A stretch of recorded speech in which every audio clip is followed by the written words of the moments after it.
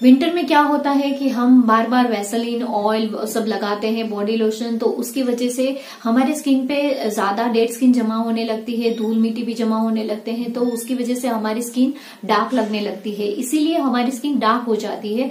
तो विंटर में बहुत ज़्यादा स्किन केयर, हमें मेंटेनेंस हमारा बढ़ जाता है। तो कम मेंटेनेंस हो आपका, क्योंकि दिन छोटे रहते हैं, काम बहुत ज़्यादा रहता है, और उसमें हमें अपना स्किन और हेयर का रूटीन भी बढ़ जाता है। तो इसीलिए छोटे छोटे टिप्स एंड ट्रिक्स ट्रिक्स लेके आऊँगी अभी मैं कि आपको उसमें बहुत सारे हेल्प मिल जाए। तो उसके लिए अभी आज जो मैं बनाने वाली हूँ ऐसा बॉडी मास्क बनाऊँगी जो आपके बॉडी के लिए फुल बॉडी आप नहाने से पहले आपको अप्लाई करना है। और ये आप मास्क वीक में दो बार लगाएँगे तो आपको विंटर में काली स्किन जो हो जाती है हमारी पूरी अग, आ, ब्लैक अब हम जब वैक्स करते हैं तो हमें पता चल जाता है कि हमारी स्किन डार्क हो गई है।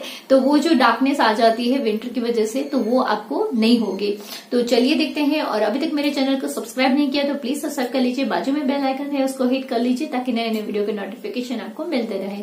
तो आज ये हम बॉडी के लिए जो हम आज ये मास्क बनाने वाले हैं तो उसके लिए हमें सबसे पहला इंग्रेडिएंट्स चाहिए रो मिल्क यहाँ पे रो मिल्क बहुत ज़्यादा ज़रूरी है स्किन को लाइक करने के लिए, क्योंकि रो मिल्क डीपली हमारी स्किन को क्लीन करता है और जो हमारे स्किन में डेड स्किन हो गई होती है, उसको रिमूव करने में भी बहुत ज़्यादा हेल्पफुल होता है और उसके अंदर हम डालेंगे हाफ़ स्पून अराउंड लेमन और लेमन और मिल्क ये दोनों अगर मिल गए तो बहुत ज़्यादा मार्वलेस उसका रिज़ल्ट आता है क्योंकि लेमन भी उसके साथ मिलके जो एक काली परत हो जाती है, उसको इंस्टेंटली रिमूव करने में बहुत ज़्यादा हेल्पफुल इंग्रेडिएंट्स है।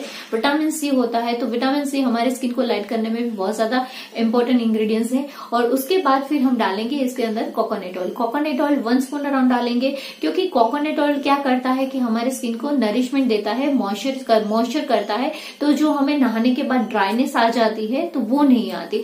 अगर आप चाहो तो इसको रोज भी अप्लाई कर सकते हो। अगर आपके पास टाइम है तो अगर नहीं है तो आप वीक में दो बार या फिर मिनिमम एक बार तो इसको ज़रूर ट्राई करिएगा। ये बहुत अच्छा मास्क है और इससे बहुत अच्छा आपको फ़र्क भी दिखेगा। मतलब आप बहुत ज़्यादा जिसकी ड्राइनेस रहती है स्किन में तो उसके लिए बहुत ज़्यादा हेल्पफुल मिलेगी क्योंकि कहीं कहीं ऐसा होता है। जैसे मैं जहाँ पे रहती हूँ तो यहाँ पे हमारा इतना हैवी वाटर है कि यहाँ पे हमें कितना भी बॉडी लोशन लगाओ, कितना भी कुछ भी लगाओ तो हमें ड्राइनेस रहती है। टू आवर्स के बाद वापस ड्राइनेस आ जाती है। तो ये मास्क मुझे बहुत हेल्प करता है कि बार बार मुझे वेसलिन या फिर बॉडी लोशन लगाने की ज़रूरत नहीं पड़ती। बस सुबह एक बार नहा लिया, हो गया, उसके बाद फिर ज़रूरत नहीं पड़ती कि मैं पूरे दिन में मुझे कुछ लगाना पड़े।